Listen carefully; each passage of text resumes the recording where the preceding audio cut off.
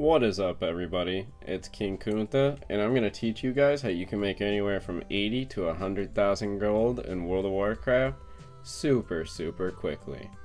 Now the item that we're going to be attacking or going for today is the Sentry's Gloves.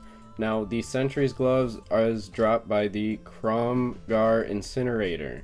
Now the Krom'gar Incinerators are located in the Stonetalon Mountains here, right just outside of Ashenvale, as you can see. And what we're going to do when we go to get these mobs is we are going to go ahead and just run around this area right here, kill as many mobs as we can, and you'll be able to pick them up super quickly.